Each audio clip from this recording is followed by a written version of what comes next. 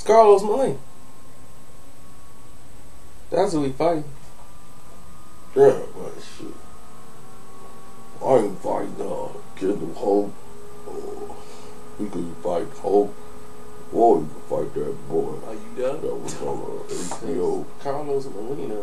That Kareem There's another fight at 135 going up to 140 because Khan can't make 35 no more. But that's the weight class he should be in. Khan whole thing is he's out the game. He's on the outside looking in. The whole game has passed him by. And don't nobody really know what to do with Amir Khan because all these people have really surpassed him. And he cannot go to 140. Sure, he feel he can beat Danny Garcia if he do a hit and run and away from Danny. He feel like he can win a decision, but against heavy hitters, the the deck will have to be stacked in his favor. He's gonna need a huge ring, and here's what people don't know: Carlos Molina is fast. He's not slow. A lot of people think Carlos Molina is slow.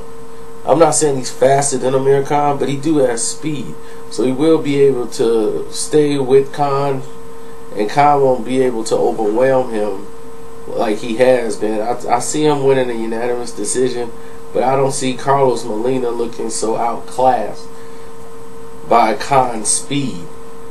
I think his speed might worry Amir Khan a little bit in this fight.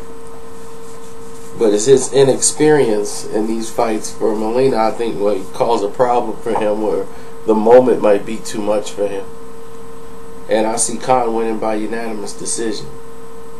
Now, let's go to the Nonito Donaire factor. Um, let's take it from there.